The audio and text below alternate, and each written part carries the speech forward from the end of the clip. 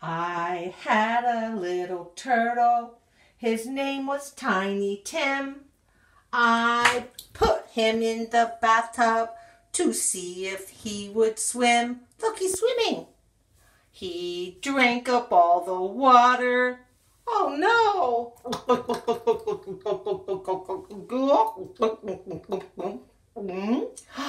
Oh, no more water! He ate up all the soap.